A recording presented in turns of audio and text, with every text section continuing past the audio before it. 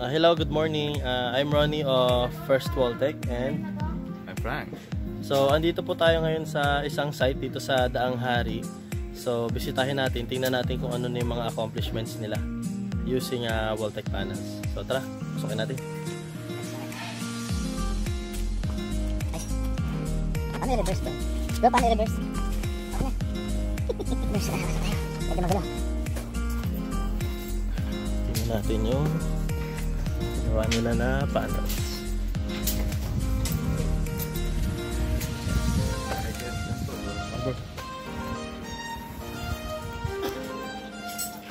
So ito na po yung mga na-install nila na panels.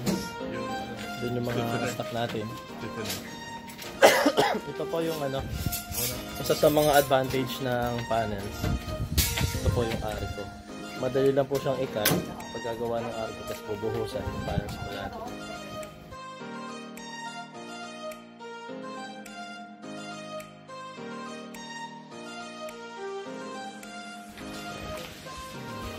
Ganda po na gawa nila.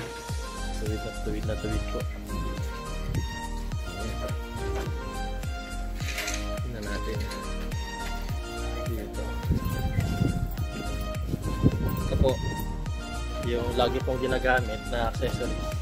Ito po wall angel. Para po tuwid na tuwid yung mga cutting natin sa bintana, windows. So kita nyo po yung column. Ito po, pinlash po nila sa wall. Pero medyo nag nagtutrude pa rin ng onte. So, hindi naman siya ganun kalaki. Maliit lang. Sa conventional po, talagang lalabas yung column kasi ah, hindi siya naka-design na naka-flash sa wall. Dito po natin yung mga walls na gawa nila. Maganda. Ganda ng cut. Ito. Ganda ng cut. Almost perfect po yung cut nila sa ano, sa mga bintana. Oh bro.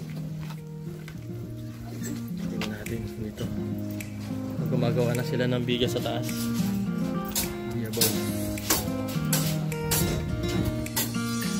So yan. So kita nyo po dito. Ginawa po nila, naglagay po sila na zipper links.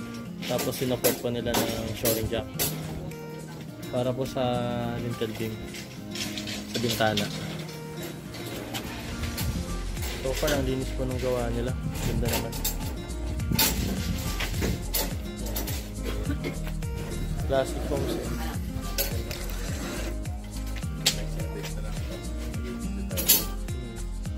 So ito po yung first update namin. Parang 2 weeks. Two- Nakisamba na ba kayo dito kuya? Hindi, sa panel. Sa panel. Ah, sila ulo. Dapat si Foreman eh. Hintayin natin si Foreman. Yan, nakapang sa hagdan.